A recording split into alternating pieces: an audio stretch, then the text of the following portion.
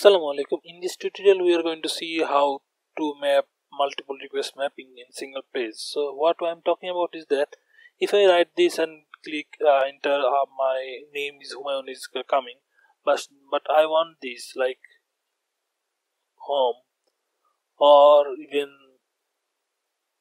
index. If I write these three of these things uh, our index place should come. So uh, uh, let's see how we can do this so this is our uh, project we are working on it and just uh, in request mapping just put a attribute value and give a third bracket. And just give a comma here and just map home.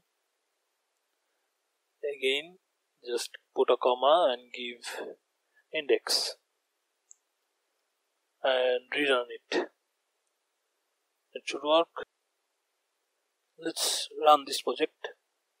My project is running and if I go there and reload this page you'll see my name is one coming.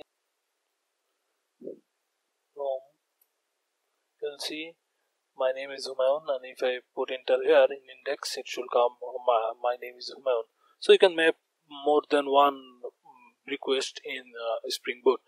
And thank you for watching. If you like this video and if you find this video, please like share and subscribe to uh, my channel and share this video